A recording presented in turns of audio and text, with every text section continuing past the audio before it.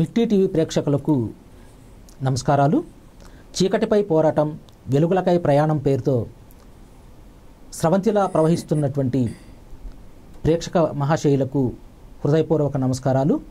ఈరోజు ఉగాది తెలుగువారి లోగిళ్ళలో ఆనందహేళ. తెలుగు ప్రజలకు ఉగాది నూతన సంవత్సర శుభాకాంక్షలు తెలియజేస్తూ ఇప్పుడు మన కార్యక్రమంలో కాళంగి వసంత జస్సన్ గారు ప్రభుత్వ ఉపాధ్యాయునిగా పనిచేస్తూ సాహిత్యంలో విశేష కృషి చేస్తున్నటువంటి వసంత గారు ప్రభుత్వ ఉద్యోగినిగా ఉంటూ సాహిత్య రంగంలో తనకంటూ ఒక ప్రత్యేక గుర్తింపు కోసం ఎన్నో సాహిత్య కార్యక్రమాలు సామాజిక సేవా కార్యక్రమాలు నిర్వహిస్తూ ఉన్నారు.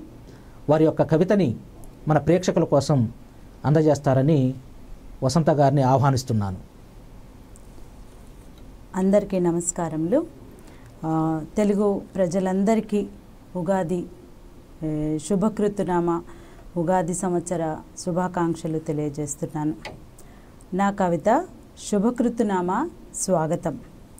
కరోనా రక్కసి కాటుతో మానవ మనుగడ విసిగిపోవగా నూతన చిగురులతో ప్రకృతి పులకించగా కోయిల పాటలతో మనసు పరవశించగా శుభ సంకల్పంతో రావమ్మ శుభములు కలుగగా. నూతన వత్సరమా? స్వాగతం. నీకు ఘన స్వాగతం.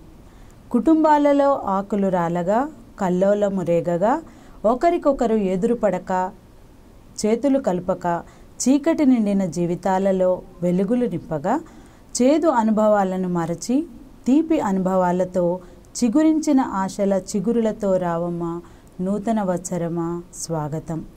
తల్లి లేదు చెల్లి లేదు బంధువులు అసలే లేరు.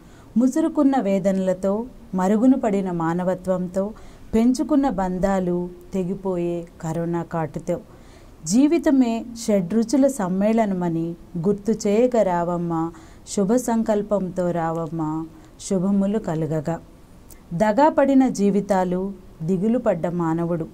దగ్గరకు రాలేక గుండెలు పగిలే రోదనతో అలల తాకిడితో తలమునకలైన జీవితాలెన్నో. కష్టాల కడలిలో ఈత రాక మునిగిన వారెందరో. శుభములు కలుగగా శుభ సంకల్పంతో రావమ్మ. శుభకృతి. నీకు స్వాగతం. ఘన స్వాగతం. థ్యాంక్ యూ వెరీ మచ్ ధన్యవాదాలండి. గత మూడు సంవత్సరాలుగా అంటే రెండు వేల పంతొమ్మిది చివరి దశ నుంచి ఇప్పటి వరకు ప్రపంచాన్ని అల్లకల్లోలం చేసినటువంటి కరోనాని కరోనా చేసినటువంటి కష్టకాలాన్ని గుర్తు చేస్తూ భవిష్యత్తు వెలుగులు నింపమని ఆశించి మీ కవితను ఈ సందర్భంగా మాకు అందజేశారు. ధన్యవాదాలు. Thank you